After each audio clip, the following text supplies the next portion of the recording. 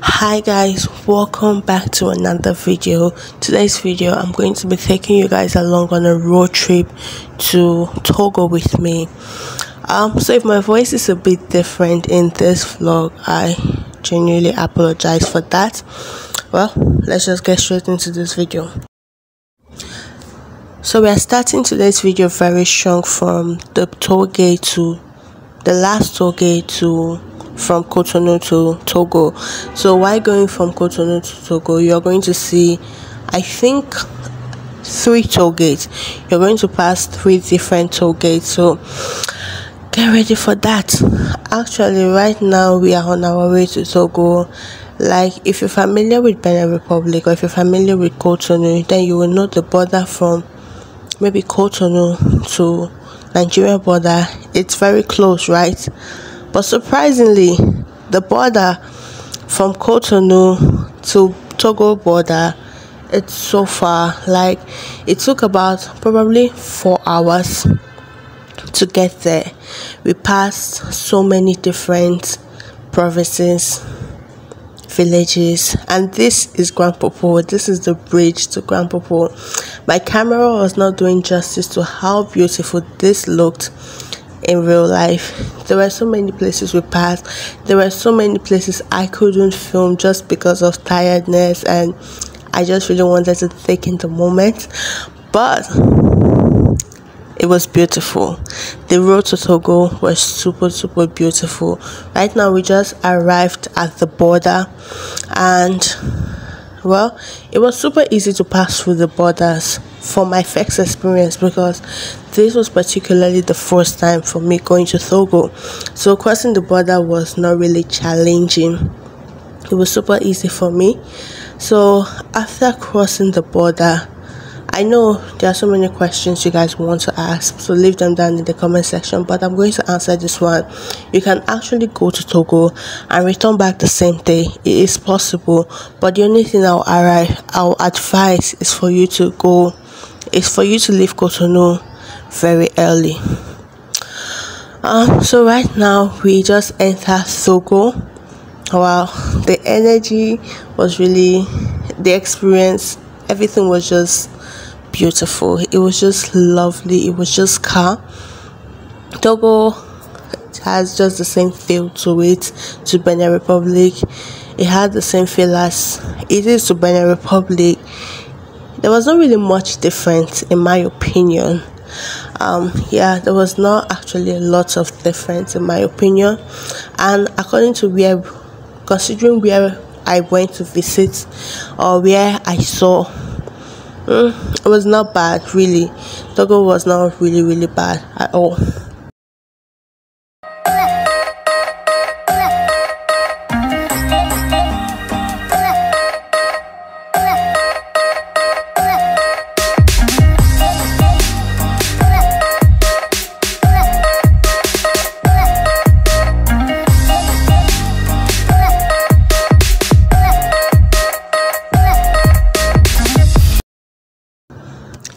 There's one thing I'm going to say. Togo has a lot of road bumps, humps. It's really just, I, I think for the, what am I saying? Togo has a lot of road humps that just avoid you or restricts you from driving fast. So, if you're someone who drive fast a lot, you should know that because the humps are really, really, really bad really bad.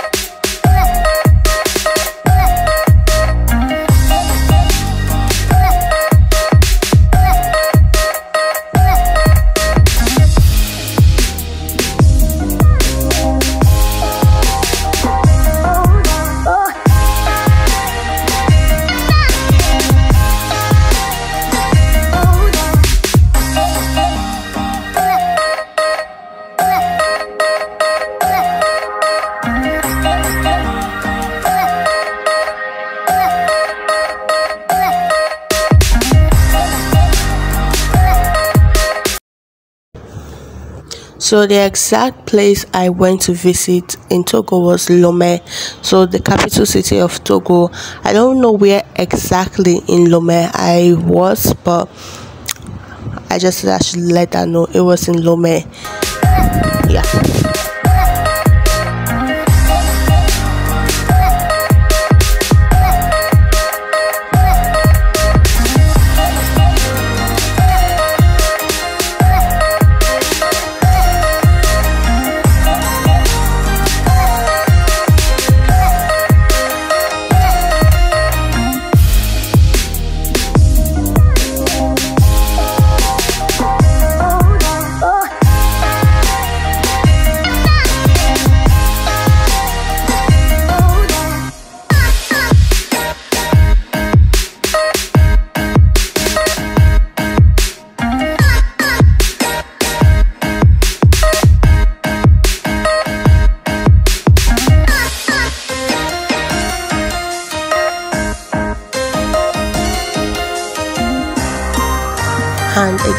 The border you should probably go with your id card or your passport and you will just be fine. Okay i just wanted to put this here. At least that was my experience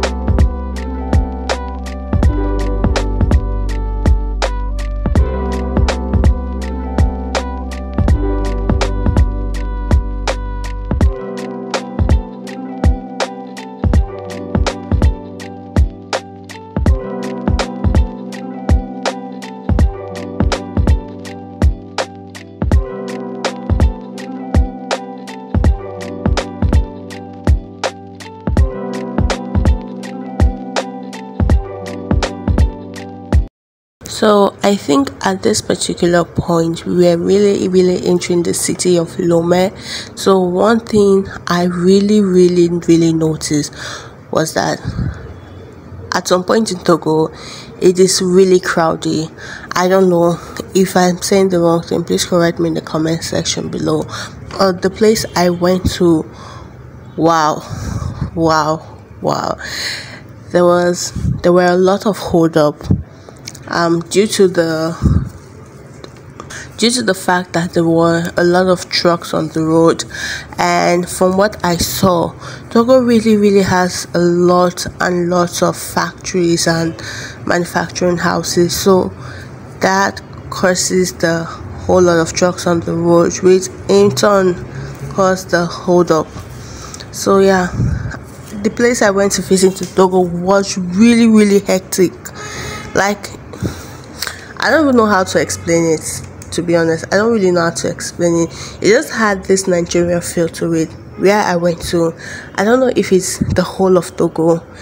If I'm wrong, feel free to correct me in the comment section.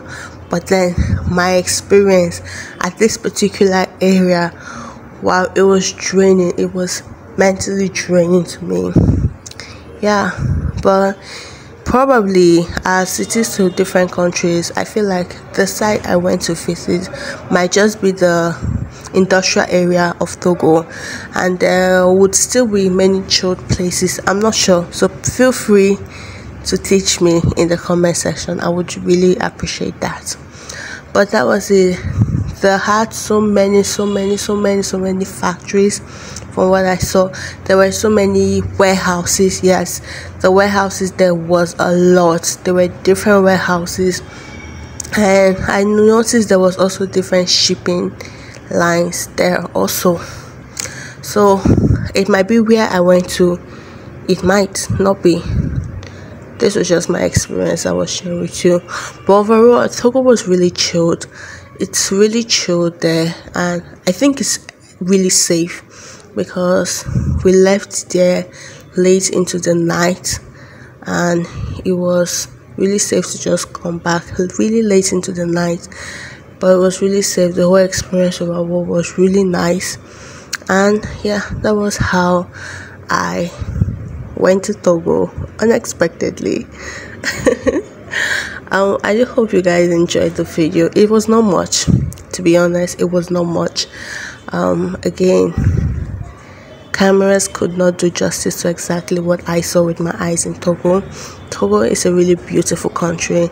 It's really chilled and I didn't get to talk to any locals, but I feel like they would really have amazing people there in Togo too.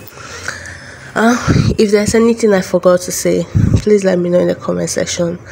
I really enjoyed my experience in Togo. Yeah, Togo was really nice because I got to talk with the customs and the immigrations officer and they were really kind and attentive so yeah I think they would really be amazing people in Togo. Well, if you enjoyed this video, please remember to let me know in the comment section below. Like, share, and subscribe with your friends and family. Have a beautiful, beautiful, amazing day. Bye bye.